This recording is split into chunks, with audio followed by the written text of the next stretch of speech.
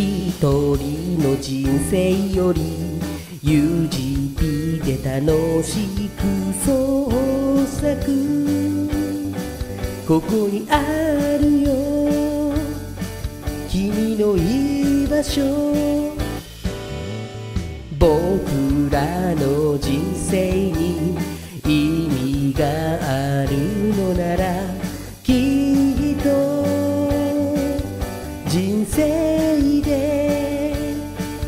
一つだけで尊いものだけど消えずに永遠に続くものだと思う。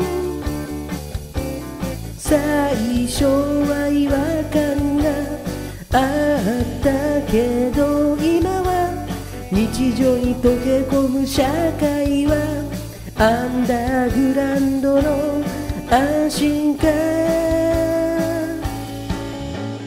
なんでこんな幸せな感じ？もう何も怖くない僕は。UGP に